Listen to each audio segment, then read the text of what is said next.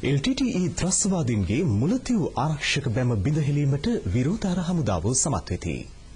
මුලතිව් ඉදිරි ආරක්ෂක වළල්ලේ රැඳී සිටමින් මේ පිළිබඳ වාර්තාවක් ගෙනෙන අප නියෝජිත සුජිත් විදාන පතිරණ.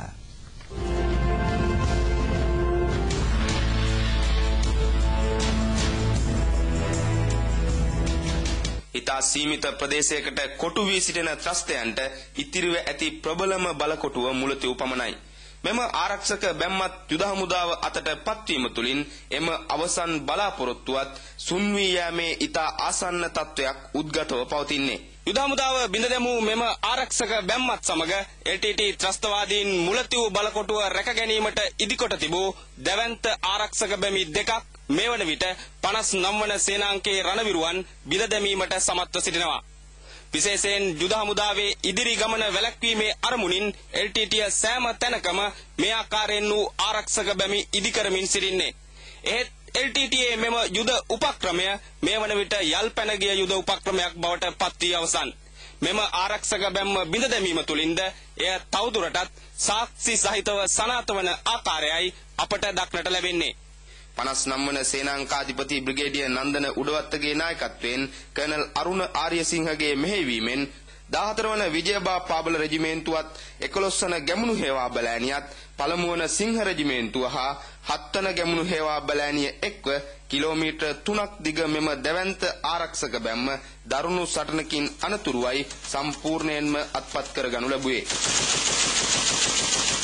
එටිටි ත්‍රස්තවාදීන්ගේ මෙම ආරක්ෂක බැම්ම අවසන් වන්නේ මුලතිව් මුහුදු තීරයෙන්. ආරක්ෂක බැම්ම ඉදිරියෙන් මේ ආකාරයෙන් වැලි සහිත දැවැන්ත විවෘත ප්‍රදේශයක් පවතින්නේ.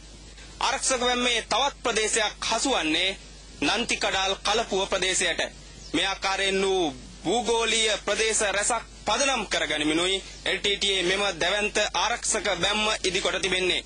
දැවන්ත පස් බැම්මේ උස අඩි 12ක් පමණ වනවා.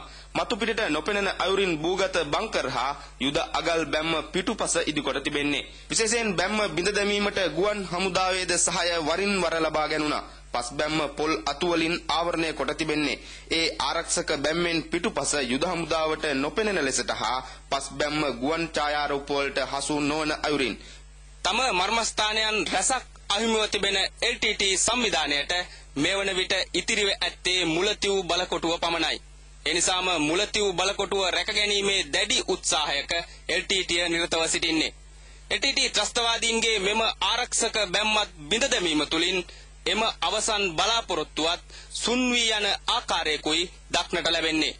එතරම්ම ආසන්නයට මේ වන විට 59 වන සේනාංකයේ රණවිරුවන් ගමන් කොට තිබෙන්නේ. ජමිල් ආනන්ද වසන්ත කුමාර සමගින් මම සුජිත් විතාන පතිරණ අලම්පිල් උතුරු ඉදිරි ආරක්ෂක වලල්ලේ සිට